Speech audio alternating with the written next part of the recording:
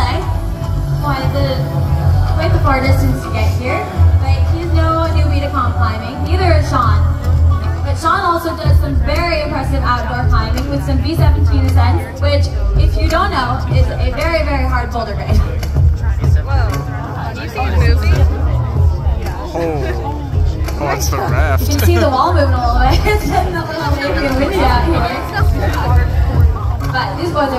Are strong. They got it. Christ. New element. yeah. You can see when the wall moves too, you can watch the water come out of the seams.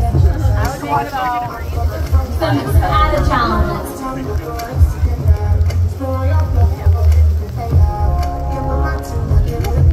Come on, boys, you got this.